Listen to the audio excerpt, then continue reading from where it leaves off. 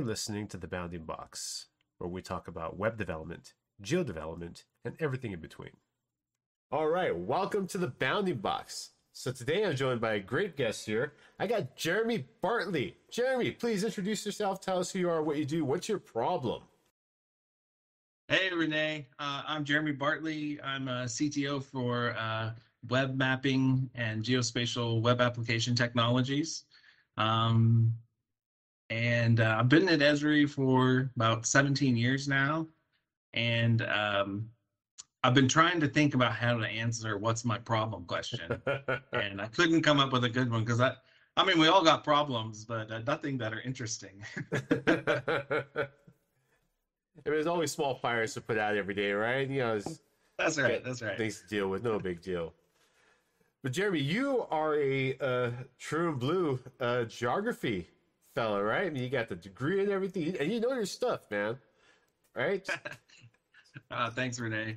Yeah, man, I've been. Uh, I got the geography bug uh, in college. Uh, I was taking a, a map appreciation class in my spring year of my freshman year in college, and I'd always loved maps, and uh, I just got hooked on it. um, yeah, and then you know, I went in graduate school, I became the, uh, you know, I, I got interested in putting stuff on the on the web at the time. This was like back in the you know uh, late '90s. Wow. Um, and uh, yeah, then you know, I got I really got the I really got the GIS bug though. I would say, at, it was a little bit after the 2000 uh, election, and I remember mapping. I was in ArcView three, 3.2 and I was mapping out the um, the counties that Bush won and the counties that Gore won.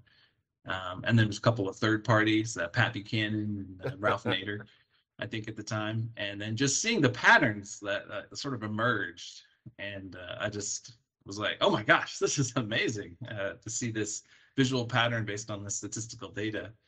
And maybe ask, well, why? What is this belt here of blue? Or you know, along the river, these blue counties coming down. Uh, so anyway, yeah, uh, that got me that got me really hooked, and I've been uh, doing it ever since. Nice. Now, all those years of geography, Jeremy, do you have any good geography jokes? No. no, I'm not. A, I don't have any good geography jokes. Uh, the dirty um, ones. well, I mean, one at one time, um, you know, probably like I don't know, five, uh, five to ten years ago, I remember doing uh, smart mapping sessions at the UC with uh, Jim Herries, and uh, we used to try. We also really like Seinfeld, so we used to try to turn uh, every teachable moment about smart mapping, illustrate that with some map that was related to Seinfeld. So. Uh, we, it was good for a few laughs, uh, but I think uh, a lot of people who didn't know Seinfeld were like, "What are these idiots talking about?" Oh, that's amazing. Now, I think what's interesting too, and a lot of people may not uh, really know, is that I mean you uh, worked on version 1.0 of the JavaScript API, right? Yeah, um, yeah, even uh, yeah, but even before the JavaScript API, um, uh, I started in uh, August of 2006, and um, I had known this this uh, a developer from Esri, Keyur Shah, who uh, no longer works at Esri, works at Google now, but we had met online. You know, I used to like to write blog posts about REST APIs and you know build some amateur-ish REST APIs for my uh, work at the University of Kansas, and and uh, he came into my office like four months after I started and was like, Jeremy, we should build a REST API for server. I was like, Keyur, that sounds great. Let's do it and uh, yeah, we kind of snowballed. Um, and uh, I mean, that was really like, an, it was a really amazing time, you know, because like you know, Google had really proven with Google Maps the power of JSON and making AJAX calls, and um, and then you know the power of REST APIs and how you know simple that made things.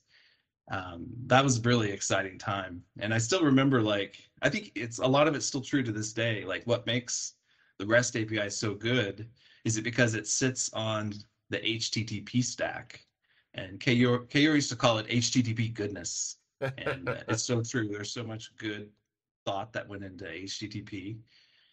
Um, anyway, so we built worked on the server REST API for 9.3, and uh, but then you know that wasn't really the answer. The answer was people want a simple, uh, easy to easy to use web mapping library, uh, similar to Google Maps. Yeah. And so uh, so yeah, we put put together uh, object model diagram that used to fit on one page for, the, for the 1.0 JavaScript API with uh, uh, developer at the time, Jayant Sai.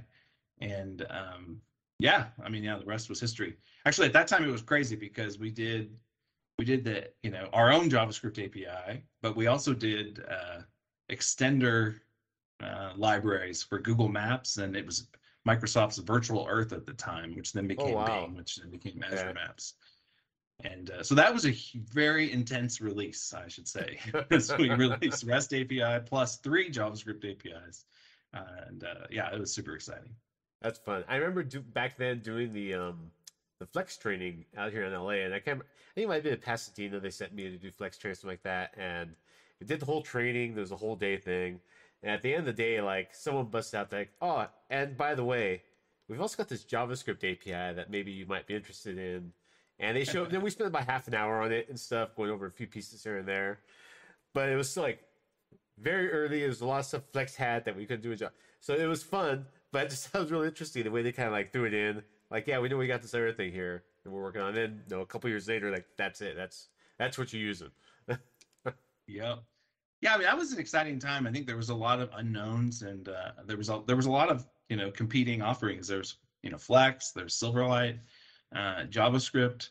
Um, you know, at the time at that time, you know, JavaScript was kind of held back by uh, you know Internet Explorer. Yeah. But uh, Chrome was really making a push, you know, with Chromium and of course Firefox as well, and that really you know changed the game.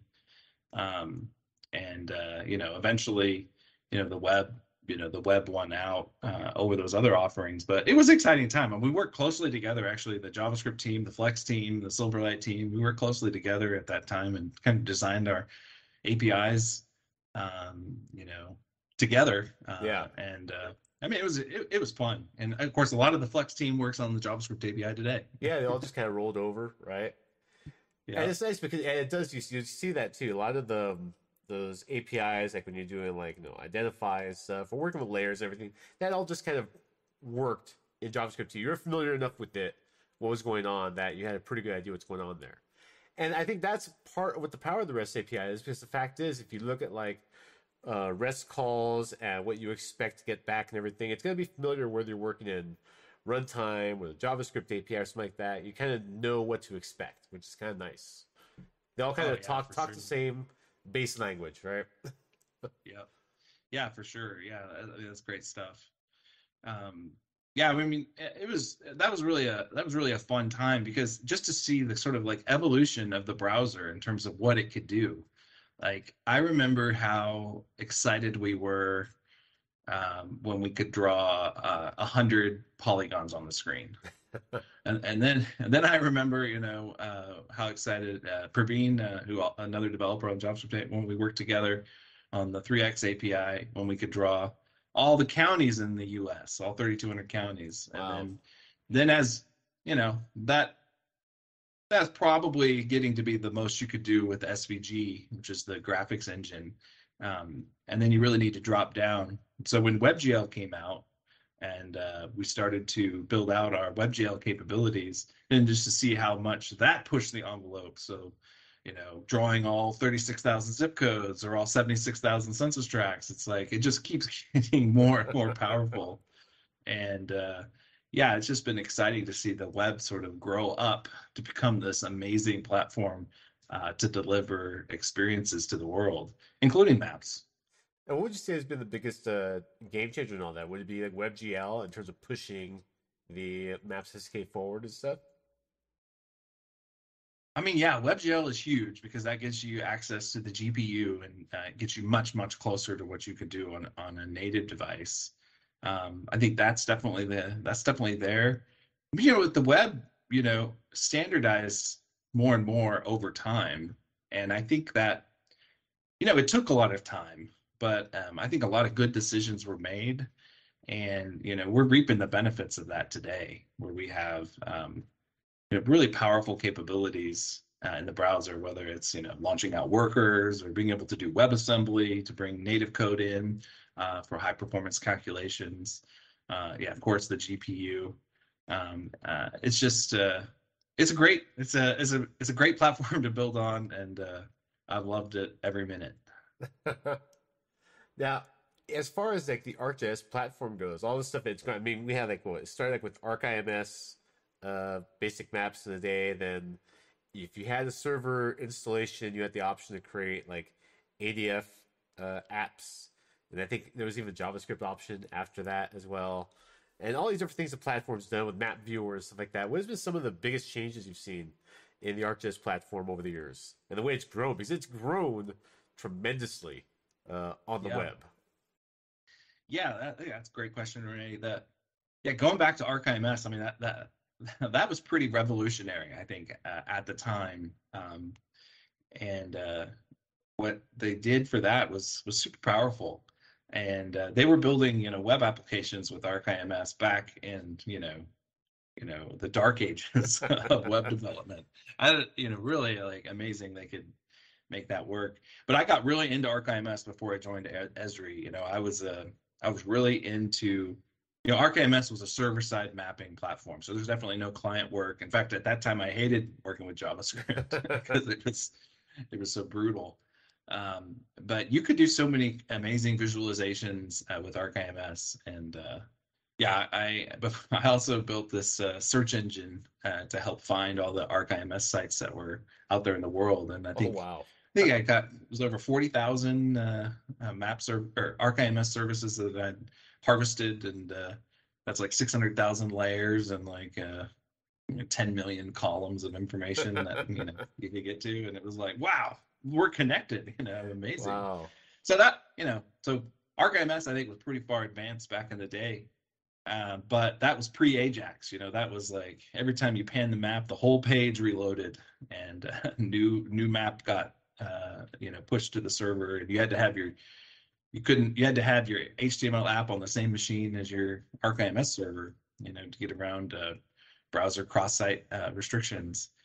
Um, you know, then when yeah, ArcGIS server and ADF, um, that you know that that didn't really work, uh, and uh, that's just that's just the at that time that's what that's what the major um, tech companies were pushing, and uh, you know it it really didn't work. And yeah, going back to that what we talked about earlier, you know, with Google Maps and proved what it could do with Ajax, and I like to think of of that as the, the reason we have JSON is like the biggest hack in the world uh, but it's probably the most, most important hack that's ever been done in computing.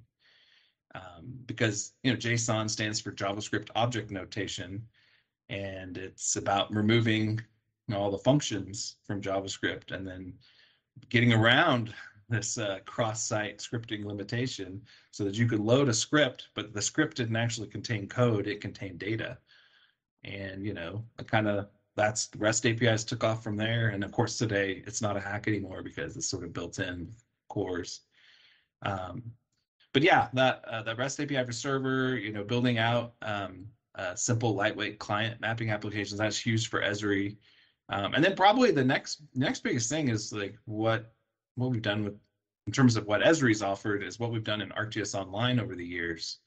Um, and a couple of areas. So like one one area is just like this concept of a web map, this uh, you know specification for how Esri applications you know honor your web map. I think that's been huge for Esri because um, all of the apps that uh, you know Esri's got a lot of mapping apps, right? From story maps to dashboards to instant apps to experience builder. Imagine if each of those apps you had to go to them and build a map for within that app and then like, every app would have done it different and and so on but being able to start with the map that's already got the geographic information already set up your pop-up set up your uh, your maps your layer styling set up and then just bring that map into that application and then you know do what you need to do that's been huge i think for uh, for Esri and for our users. And um, yeah, it's been exciting to see that grow. Um, I think yeah, the next part of ArcGIS Online that I think is cool, that's really advanced, uh, is uh, is the area of uh, feature services and feature layers. And um, you know, you used to hear back in the day that you know GIS is like this back office technology. It's uh, it's back office because it's you know it's GIS people collaborating in the back office, but you know it can't scale. Like you can't scale that out. To do that, you know, to do anything that reaches the public, you need to you need to be doing something on Google or something like that. And then, and we definitely have proven that that is not the case. Um, you know, every everybody's probably seen the Johns Hopkins COVID dashboard back in the day, and uh, how that graduate student uh, and uh, the professor built that dashboard out and um, like that was more popular in like May and uh, April and May of 2020 than like CNN or more popular. It was like a top 100 website in the entire world. This one dashboard, and and you know we saw it like we were seeing with ArcGIS Online, seeing more than 175,000 queries per second, and like that's that's crazy. um, but you know, held together, it worked, and um, that so I think that that's been an exciting thing to see uh, as we get to. And you know, it gets back to the what we talked about at the very beginning, HTTP goodness, because the whole reason that that works is through caching and uh, knowing that you can cache something because it doesn't change regardless of you know what device you're on, what computer you're on. You're going to make the same request every time, and that's something that we've you know built into our JavaScript API since version 2.0, uh, tile-based feature queries.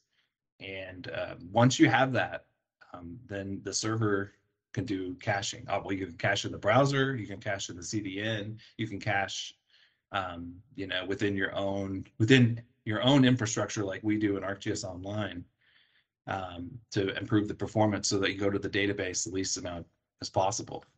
Um, and why that's cool is because it allows people to publish their information of record and then just use it. It's not like back in the day where if I publish this data or if I had this information of record data, I got to build a visualization layer. I got to build a, a, vector tile cache. I got to build a, a raster tile cache. You know, you don't need to do that anymore. I can just take that layer, add it to my maps, and it just works. And when that data is updated, my map's updated. You know, um, and what we see in ArcGIS Online is people taking that like, you know, so many levels deeper. You know, you got an organization that's producing, you know, the the daily COVID maps or the daily fire maps or on and on and on. And then everybody gets to use those. Uh, and we're not like we've moved way beyond uh, you know a distributed file share system uh, as a GIS community to something that's really connected uh, deeply I mean, it's the same, even just like in terms of like automation. Like people are out there automating entire map generation, app generation stuff, where they automate the creation of web maps, they automate who that's shared to, they automate uh, what apps are getting created for that, and then boom, there's yeah, stuff's like sent out there. People get emails and go, "Oh, here's the latest updated app for whatever," right? Yeah. Yeah, for sure, man. That you're right. That that opens up that angle, and yeah, it's like it, I think it's a it's a really exciting time to be in this field. I, I, I think what what I, what we see users doing with ArcGIS Online and the JavaScript API, of course, is actually really pushing information out, you know, where it needs to be. So whether you're a city who's letting, like, you know, you're um, a small city in Georgia or whatever, and you're letting the city know, you know, where you're going to be paving over the next uh, couple months, or when you're going to be spraying for mosquitoes, or you know, uh, what's the plan the plan changes for the land use plan uh, like people are able to share that out to the public where in the past you know maybe that was something that was printed and if someone was really eager they could go to it but you didn't have it at your fingertips like you do today you used to, you used to have to do that all the time. You get sent out from the county and go and uh, get copies of a paper map from somebody somewhere because it, it was too big to scan, couldn't PDF right. it to us. Such a pain. for sure, man, for sure.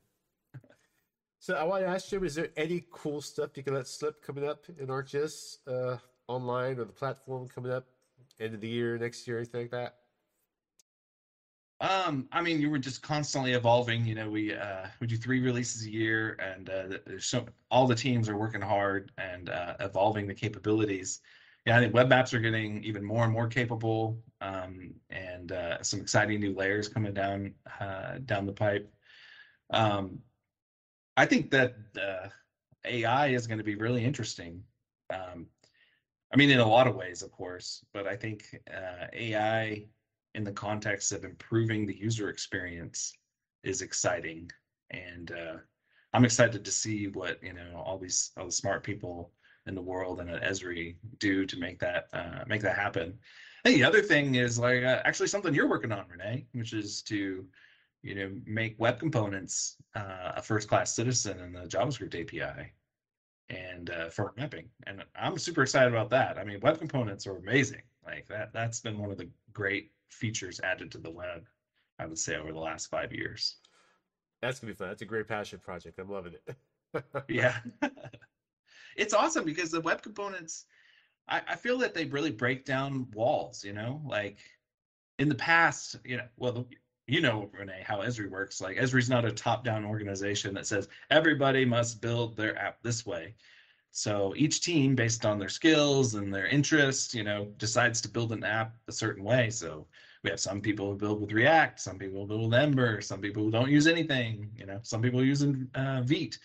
Um, and actually, that was a problem about, uh, you know, five years ago because you know, especially for you know ArcGIS Online that's got all these web applications that um, you know our users are making use of, whether it's in Story Maps or Dashboard or Web App Builder.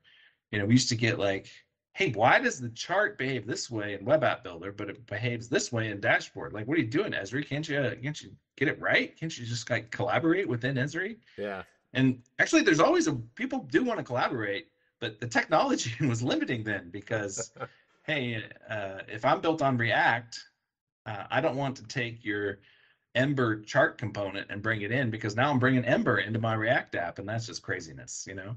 So out comes web components native to the browser, and um, we really, I mean, there's still some things you got shenanigans you have to do across frameworks, but it greatly reduces the friction there.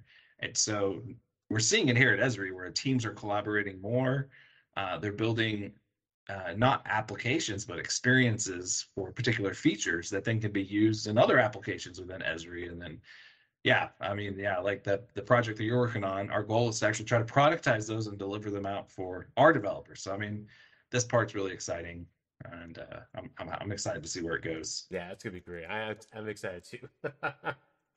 All right, Jeremy, I want to be respectful of your time here, but before I let you go, you got any tips, tricks, words of advice for the listeners here today? Yeah, I mean, uh, I think this applies everywhere, but you know, it's uh, you know, just be nice to people and uh, you know care about what people are doing. I think you know having um, you know being nice, being supportive, you know checking in on people. Yeah, you know that that's really important. Like that because really at the end of the day, relationships are how you get things done. Like you got to build that relationship up with people, whether you're in the same company or whether you're, you know, uh, you know, two different companies working together. You know, if you don't have that relationship um, with that that person or that team, then nothing's going to get done. Uh, so, yeah, I mean, I just think you know, just being nice to people, checking in on them, uh, understanding why somebody might not be able to do something that you really need, and um, you know, don't let that like ruin your relationship with that person because that'll change over time. And uh, we've been building, you know, I talked about the web map uh, project, and uh, that's one where we've collaborated across teams. You know, like there's the web team, there's the desktop team, and then there's the runtime team. And um, in that context, it's all about relationships because, you know, we're trying to come up with, uh, you know, you know, the the best uh, web experience but we we need to also be able to work in pro and vice versa and have everybody be in sync you know uh, and that that wouldn't happen if we didn't you know build those relationships and uh, collaborate and uh, trust people um, and uh, you know everybody's trying to do the right thing so i think being optimistic on on that when you interact with people uh, the better things will be. I think that's a good point. Everybody's trying to do the right thing right? And you know, Yeah. when, when we're all working together and everybody's got the same goals at the end of the day, uh, things are going to turn out well, which is great. Yeah. Yeah. Yeah, for sure. All right, awesome, Jeremy. Well, I really appreciate it. I'll see you next time. Hey, thanks a lot, Rene. Uh, thanks for having me. And uh, uh, I really enjoy your podcast. I love listening to it. Thank Thanks, you, man. Thank. Thank you for listening to the Bounding Box today. Please subscribe for more content.